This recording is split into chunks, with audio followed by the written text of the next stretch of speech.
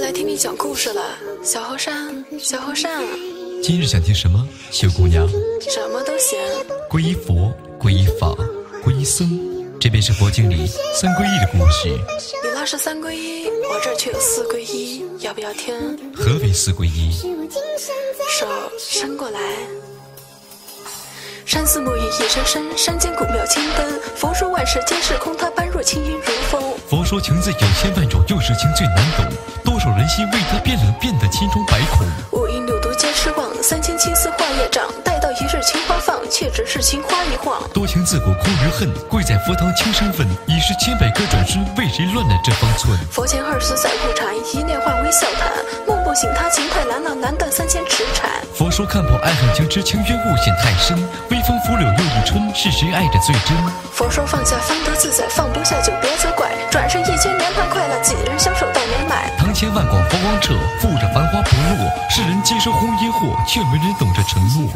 皈依佛，皈依佛，皈依法，皈依法，皈依僧，皈依僧，皈依秀姑娘。皈依秀。啊！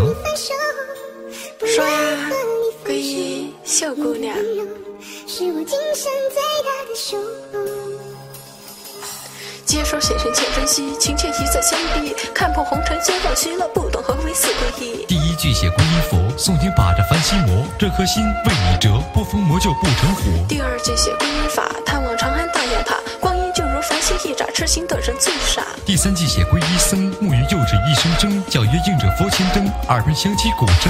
第四句你皈依我，这一次你别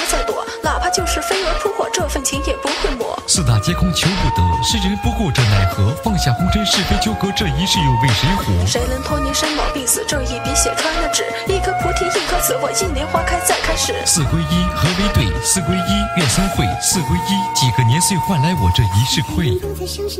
那一日，我同往常一样，与他说了佛理，他便回去了。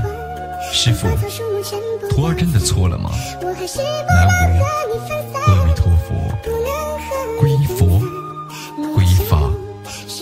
皈依佛，皈依法，皈依僧，皈依秀。